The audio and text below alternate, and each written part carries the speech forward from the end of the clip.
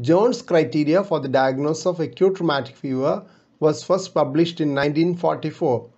Please note that the initial part of this discussion is on the original Jones criteria published in 1944. Major manifestations described in that paper were carditis, arthralgia, chorea, subcutaneous nodules, and recurrences of rheumatic fever. Please subscribe to this channel for future updates. Click on the subscribe button. Press the bell icon after that for all updates. Minor manifestations were fever, abdominal pain, precordial pain, rashes, epistaxis, pulmonary findings, and laboratory findings.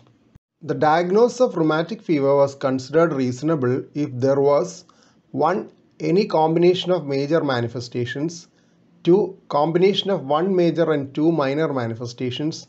3. Minor manifestations alone in the presence of rheumatic heart disease when other causes can be excluded.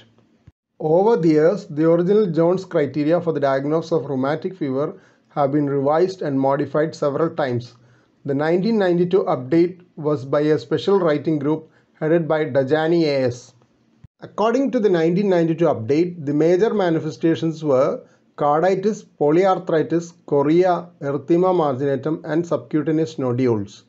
The minor manifestations were grouped into clinical findings and laboratory findings. The clinical findings were arthralgia and fever. The laboratory findings were elevated acute phase reactants like ESR CRP and prolonged PR interval on ECG. In addition, supporting evidence of antecedent group A streptococcal infection were included positive throat culture or rapid streptococcal antigen test, and elevated or rising streptococcal antibody titer. The presence of two major manifestations or of one major and two minor manifestations indicates a high probability of acute rheumatic fever if there is evidence of a preceding group A streptococcal infection. In 2000, another working group chaired by Patricia Ferrieri was set up by the American Heart Association to see whether further revision was required. They were of the opinion that there was no need to revise the criteria for the diagnosis of first episode of rheumatic fever. They also concluded that although echocardiography was useful in the evaluation of rheumatic heart disease, the evidence did not favor including echocardiographic findings as major or minor diagnostic criteria.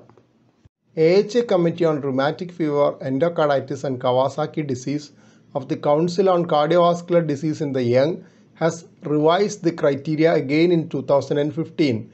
This time, echocardiography has been given a role in the diagnosis of subclinical carditis. The salient difference between the older criteria is of course the inclusion of echocardiography for the diagnosis of subclinical carditis. They have suggested specific echocardiographic criteria for diagnosing rheumatic valvular regurgitation of the mitral and aortic valves. In case of rheumatic mitral valve prolapse, it may be noted that only the leaflet tip will bend into the left atrium unlike the body of the valve leaflet in classical mitral valve prolapse.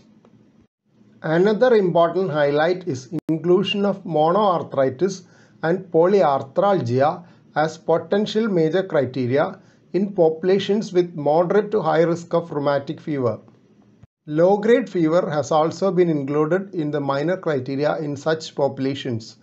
For diagnosis of recurrence of rheumatic activity, even three minor criteria without any major criteria can also be considered. Current major manifestations are arthritis, carditis, chorea, erythema marginatum and subcutaneous nodules. Minor manifestations are fever, raised acute phase reactants, prolonged PR interval on ECG and past history of rheumatic fever or rheumatic heart disease. Evidence of recent streptococcal infection is rather a mandatory criterion along with the above criteria. Exceptions to this rule include chorea, which may be the only manifestation of rheumatic fever, and chronic indolent carditis. Chronic rheumatic carditis has an insidious onset and slow progression. First set of references Second set of references. Please don't forget to subscribe to this channel for future updates and click on the bell icon for all updates. Thank you.